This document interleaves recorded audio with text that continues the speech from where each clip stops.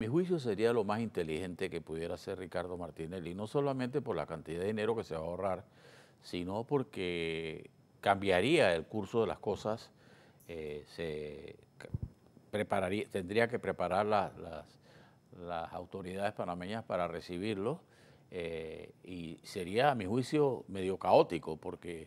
¿Eso sí sería más rápido?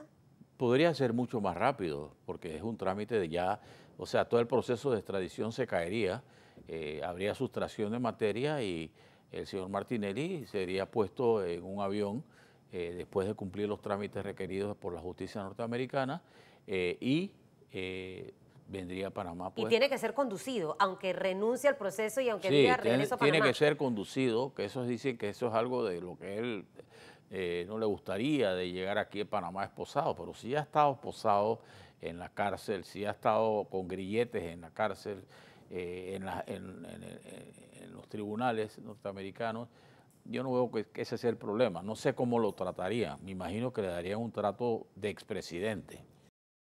ECO te invita a revivir este contenido entrando al canal 1 de VOD de Cableonda.